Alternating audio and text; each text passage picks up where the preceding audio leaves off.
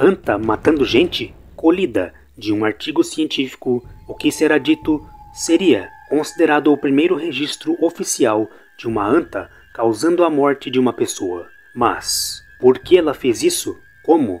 Em que condições? Vamos ver agora.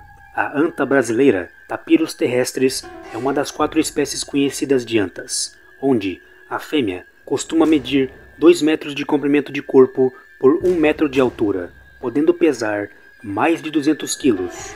Em algumas regiões do Brasil, as antas brasileiras são extensivamente caçadas pela sua carne, mesmo sendo listadas como espécie ameaçada. Exceto para fêmeas com filhotes, elas são animais solitários. Elas são herbívoras e são consideradas geralmente tímidas e dóceis, buscando refúgio na água ao cair no mato quando ameaçadas, mas podem se defender mordendo com mandíbulas fortes e dentes. Elas são ágeis em habitat fechado ou aberto e embaixo da água. Também são conhecidas por danificar o milho jovem e outras culturas de grãos. Diante dessas informações, uma anta fêmea pesando aproximadamente 180 quilos foi se alimentar de uma plantação de milho. Porém, o dono desta plantação surpreendeu a anta neste momento.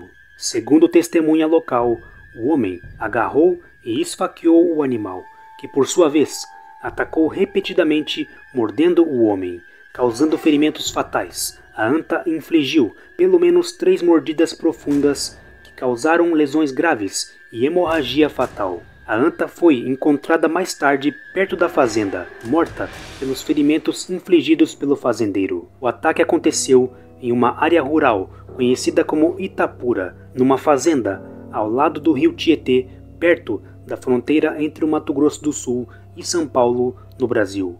A área é dedicada às pastagens e agricultura, especificamente milho. A cabana do fazendeiro ficava a cerca de 500 metros de onde os talos de milho foram danificados. Pegadas humanas e rastros típicos de uma anta eram evidentes. As pegadas da anta mediam cerca de 16 centímetros de diâmetro, o que é característico de uma anta adulta. E houveram relatos locais de problemas com uma anta adulta invadindo lavouras. O corpo do agricultor, com cerca de 1,60m de altura, 64 kg e 55 anos, foi encontrado estirado num campo e ainda quente para tocar. A vítima apresentava escoriações generalizadas e lacerações que sangravam profusamente. Eram feridas de mordidas graves. Elas eram aparentes na área cervical anterior e no braço esquerdo, e também próximo às coxas e testículos, também com vários hematomas evidentes. Há pouco na literatura